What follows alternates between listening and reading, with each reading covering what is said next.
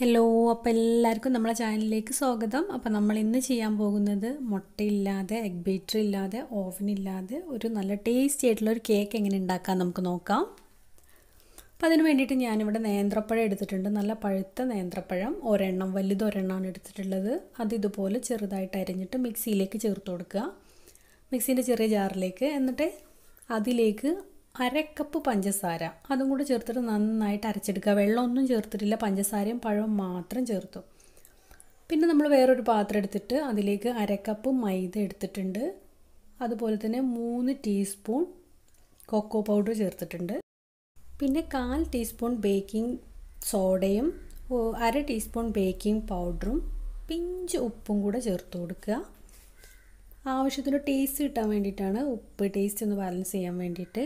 അതും കൂടി ചേർത്തിട്ട് നന്നായിട്ട് മിക്സ് ചെയ്തതിന് ശേഷം നന്നായിട്ട് നമ്മൾ അരിച്ചെടുക്കണം. രണ്ട് മൂന്ന് പ്രാവശ്യം അരിച്ചെടുക്കുക.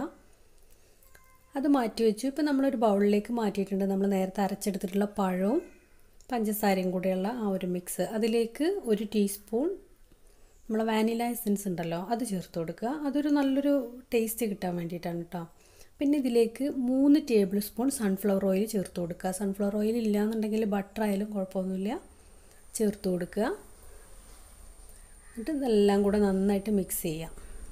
നല്ല ആ ഒരു സൺഫ്ലവർ ഓയിൽ അതിൽ നന്നായിട്ടൊന്ന് മിക്സ് ആവാൻ വേണ്ടിയിട്ടാണ് നന്നായിട്ടൊന്ന് മിക്സ് ചെയ്ത് കൊടുത്തതിന് ശേഷം നമ്മൾ നേരത്തെ അരിച്ച് വെച്ചിട്ടുള്ള ആ മൈദന്റെ മിക്സ് കുറേശ്ശെ കുറേശ്ശെ ചേർത്തിട്ട് ഇങ്ങനെ കട്ട് ആൻഡ് ഫോൾഡ് രീതിയിൽ ഇങ്ങനെ മിക്സ് ചെയ്തെടുക്കുക. അപ്പോൾ കുറേശ്ശെ കുറേശ്ശെ ഇത് ആദ്യം നന്നായിട്ടൊന്ന് മിക്സ് ആയതിന് ശേഷം പിന്നെ അടുത്ത ബാച്ച് ചേർത്ത് കൊടുക്കുക. അങ്ങനെ അങ്ങനെ ചേർത്തിട്ട് മൊത്തത്തിൽ മിക്സ് ചെയ്തെടുക്കുക. ഇപ്പോൾ നമ്മൾ ലാസ്റ്റ് ഇത്രയും കൂടി ഉണ്ടായിരുന്നു. അതും കൂടെ ചേർത്തു. നന്നായിട്ട് ഇനി മിക്സ് ചെയ്തെടുത്തതിന് ശേഷം ഈ സമയത്ത് നമ്മൾക്കിതിലേക്ക് പാൽ ചേർത്ത് കൊടുക്കണം. അപ്പോൾ പാൽ ഞാനിതുപോലെ തന്നെ സൺഫ്ലവർ ഓയിലിന്റെ അതേ അളവിൽ മൂന്ന് ടേബിൾ സ്പൂൺ പാലാണ് ചേർത്തിട്ടുള്ളത്. അതും കൂടി ചേർത്തിട്ട് നന്നായിട്ട് മിക്സ് ചെയ്തെടുക്കുക. അപ്പോൾ ഈ പാലും കൂടെ ചേർത്ത് നന്നായിട്ട് മിക്സ് ചെയ്തതിന് ശേഷം നമ്മളിതിലേക്ക് ഒരു ടീസ്പൂൺ വിനാഗിരി അല്ലെങ്കിൽ സുർക്ക അല്ലെങ്കിൽ ചെറുനാരങ്ങ നീര് ചേർത്താലും മതി. ഒരു ടീസ്പൂൺ ചേർത്ത് കൊടുക്കുക. എന്നിട്ട് നന്നായിട്ടൊന്ന് മിക്സ് ചെയ്ത് ലാസ്റ്റാണ് നമ്മൾ മിക്സ് ചെയ്ത് കൊടുക്കുന്നത് ചേർത്ത് കൊടുക്കുന്നത് കേട്ടോ.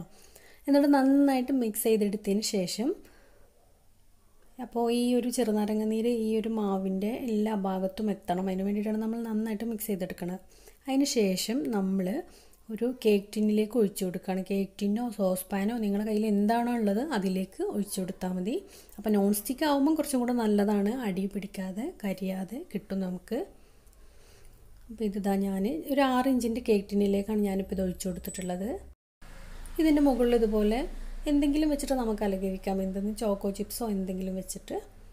എന്നിട്ട് നമ്മളൊരു ഫ്രൈ പാൻ നന്നായിട്ട് ചൂടായി വരുമ്പോൾ അതിന്റെ ഉള്ളിലേക്ക് ഇത് ഇറക്കി വെച്ചിട്ട് സോസ് പാനിലേക്ക് ഇറക്കി വെച്ചിട്ട് ഇതുപോലെ അടച്ചിട്ട് വേവിച്ചെടുക്കുകയാണ് ചെയ്യുന്നത്.